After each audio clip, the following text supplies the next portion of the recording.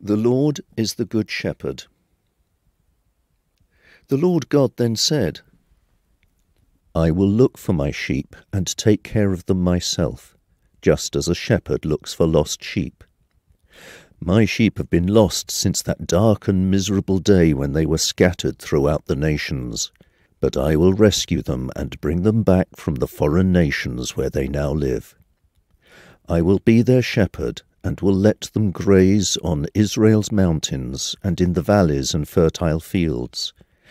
They will be safe as they feed on grassy meadows and green hills. I promise to take care of them and keep them safe, to look for those that are lost and bring back the ones that wander off, to bandage those that are hurt and protect the ones that are weak.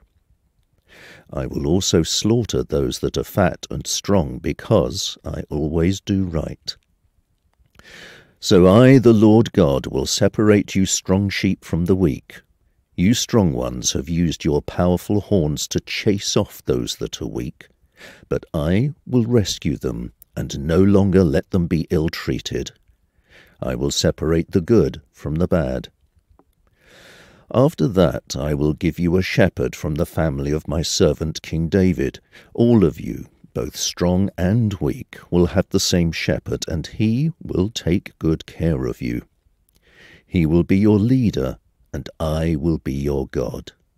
I, the Lord, have spoken.